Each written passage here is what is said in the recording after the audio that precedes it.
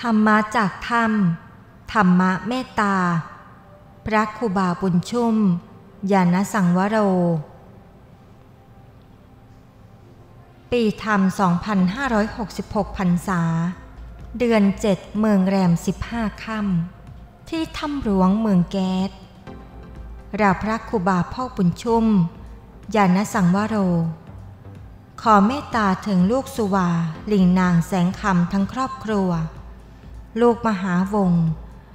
ลูกจอมแสงคำทั้งครอบครัว และพุทธศาสนิกชน ลูกศิษย์ลูกหาทั้งหลาย ได้รับทราบโดยทั่วกัน เราพระครูบาพ่อบุญชุ่ม มีความสุขกายสบายใจ ฉันได้ปกติ ปฏิบัติธรรม ภาวนาเมตตา อยู่ด้วยสภาวะธรรมชาติ ถ้ำป่าไม้ห้วยดอย อยู่ด้วยตัวสัตว์ นก กาดำ นกยูง ไก่ป่า ฟาน กวาง ลิง งูทั้งหลาย มาอยู่กินด้วย เลี้ยงดูเขาทุกวันเป็นอันสัปปายะร่มรื่นใจราวพระครูบาพ่อ ภาวนานั่งพิจารณาธรรม มหาสติปัฏฐานสี่มีสติธรรมะอยู่ทุกเวลา ไม่ให้วันเวลาผ่านพ้นไป โดยอย่างไร้ประโยชน์ วันนี้ได้รู้เห็นถึงธรรมะสภาวะ เห็นใจตนเองอยู่ทุกขณะ ปฏิบัติศาสนกิจอะไร ก็เป็นอันสมบูรณ์ไปทุกๆอย่าง เหมือนผีเขามาช่วย ไม่รู้สึกเหน็ดเหนื่อยอะไรเป็นที่น่าอัศจรรย์ใจยิ่ง ปัจจุบันนี้ อายุ 58ถึง59 แล้ว ปฏิบัติศาสนกิจ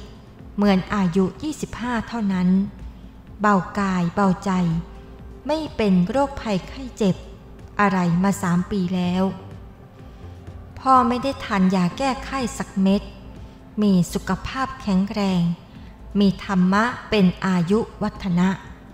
ได้รู้แจ้งธรรมะ สัจจะภาวนาเป็นอันมาก ผีเฝ้าถ้ำก็เชื่อฟังไม่ร้อง ไม่ดุเหมือนเมื่อก่อน งูก็ไม่ค่อยมาแสดงตัวให้เห็น ไม่มากินหนู หนูก็เชื่อฟัง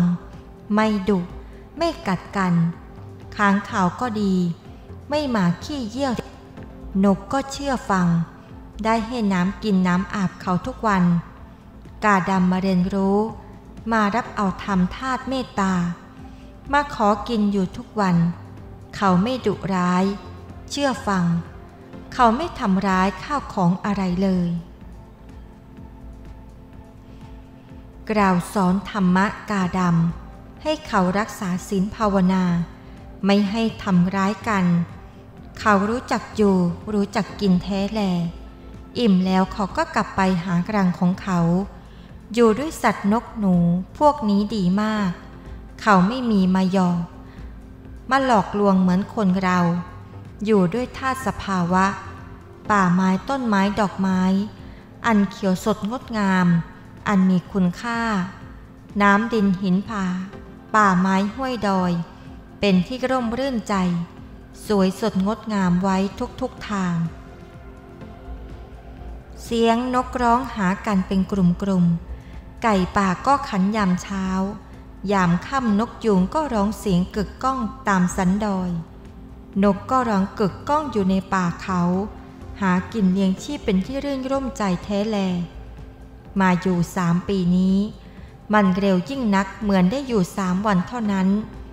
อีกสอกเท่านั้น จะได้อำลาถ้ำไป ไม่อยากไปทางไหนแล้วหนอ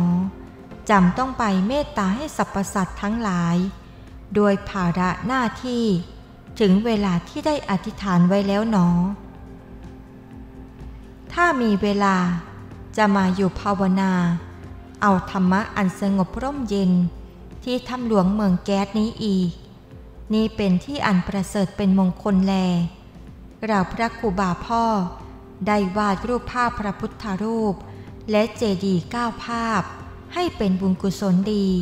เป็นมงคลสำหรับคนในเมืองไทยเราทั้งหลาย และเป็นของขวัญที่ระลึก ที่ได้อธิษฐานภาวนาในถ้ำสามปีสามเดือนสามวันนั้นแล ขอเมตตาลูกสุวาลิง ลูกมหาวงพ่อจ้อพ่อจิงตา ลูกจอมแสงคำลูกแกลงวัน ลูกจายลา หูเมืองตุม ลูกคำแรง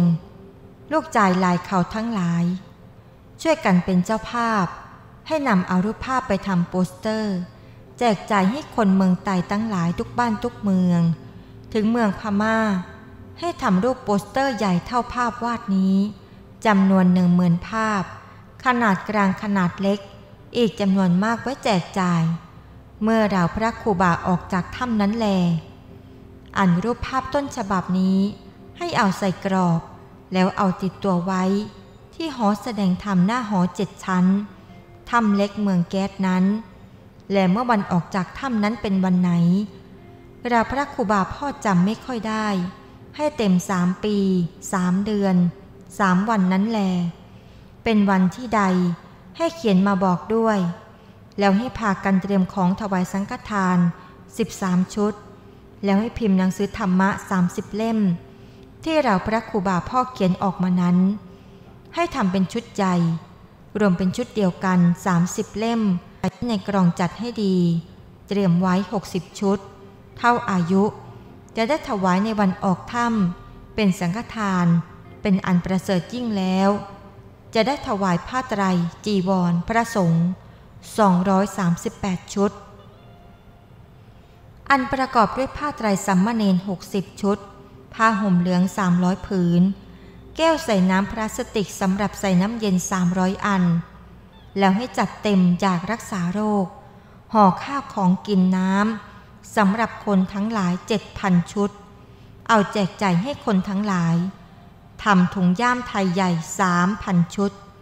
ใส่หนังสือที่ระลึกพระครูบาพ่อบุญชุ่มยานสังวโร ออกถ้ำเต็มสามปีสามเดือนสามวัน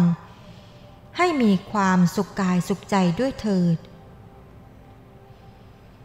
นอกจากนี้ให้ช่วยกันพิจารณา จัดเตรียมเอาไว้อีกสำหรับแจกจ่ายว่ามีอะไรบ้าง และให้จัดเตรียมผ้าห่มจีนผืนเล็กอีกสามพันผืน และหนังสือธรรมะสำหรับแจกจ่ายให้คนทั้งหลาย ช่วยกันเป็นเจ้าภาพพิมพ์ถวายให้มาก ๆ และให้พ่ออาจารย์อ่านใส่บันทึกไว้ในซีดีเมมโมรี ไว้แจกจ่ายจำนวนมาก จะเป็นบุญกุศลอันยิ่งใหญ่ในโลกนี้แล ขอเมตตาเป็นอย่างยิ่ง ให้คนรักษาทางขึ้นให้ดีๆ อย่าให้ใครมาก่อความวุ่นวาย มาขึ้นถ้ำอีกสองเดือนกว่าเราพระครูบาพ่อตั้งใจปฏิบัติธรรมะ เราพระครูบาพ่อได้มาถวายปฏิบัติธรรมอยู่ถ้ำสามปีเต็ม ด้วยเหตุอันใด ที่ได้ผิดได้กล่าวว่า เขียนจดหมายออกมาสอนมาแนะนำหลายสิ่งหลายอย่างไม่ถูกใจศรัทธาสาธุชนลูกศิษย์ลูกหา คนบ้านคนเมืองแก๊สเมืองศาสตร์เมืองเปงเชียงตุงท่าขี้เหล็กเมืองพงทุกๆทที่นั้นกราบพระครูบาพ่อ ขอน้อมรับเอาซึ่งความผิดนั้น และพระสงฆ์เจ้าทั้งหลาย ทั้งศรัทธาหนุ่มเท่าหญิงชายทั้งหลาย และคนรักษาทางขึ้นถ้ำทางแม่ครัวพ่อครัวที่ได้ถวายข้าวน้ำผลไม้ ของกินยารักษาโรค กุฏิถ้ำทั้งหมด ต้องขออภัยเป็นอย่างยิ่ง อย่าได้เป็นโทษกายกรรมวจีกรรม มโนกรรม อะไรสักอย่างเลย ให้อภัยซึ่งกันและกัน ให้มีตัวใจใสสะอาดนำเอาเราท่านทั้งหลาย พ้นจากความทุกข์ในสังสารวัฏ ให้ถึงเวียงอันกระเสมสำราญ อมตะธาตุนิพพานนั้นด้วยเถิด และด้วยบุญกุศลที่พ่อออกมาแม่ออกมาศรัทธา ลูกเศษลูกหาทั้งหลายทุกบ้านทุกเมือง ได้มาถวายช่วยเสริมสร้างบารมี กล่าวพระครูบาพ่อทั้งหมดนี้ และที่ได้ถวายพลังช่วยกันแบกหามเข้าของขึ้นดอยขึ้นถ้ำสามปีนี้ ได้สละชีวิต มาถวายทานสร้างบารมีทั้งหมดนี้ ขอให้เป็นบุญศลอันยิ่งใหญ่ อันเป็นบารมีอันประเสริฐอันยิ่งใหญ่ น้อมนำเข้าสู่พระนิพพานด้วยเถิด ให้มีความสุขกายความสุขใจพ้นจากโรคภัยไข้เจ็บ ให้มีอายุวันนะสุขภละปฏิพานธนสารสมบัติเต็มเปี่ยมบริบูรณ์ สมปรารถนาในทางโลกทางธรรม โลกกุตระให้เจริญรุ่งเรือง ขอให้ผีและคนทั้งหลายมีความสุขสบาย ในเมืองมนุษย์และเมืองผี ถึงที่ดีพระนิพพานอันประเสริฐ ให้เหมือนดังคำปรารถนานั้น ด้วยเธอ สาธุ สาธุ สาธุ ธรรมะจากถ้ำธรรมะเมตตา พระครูบาบุญชุ่ม ยานสังวโร อารัญญวาสีภิกขุ แปลโดย พระมหาทองสุข สุขธรรมโม วัดพระธาตุดอยเวียงจันทร์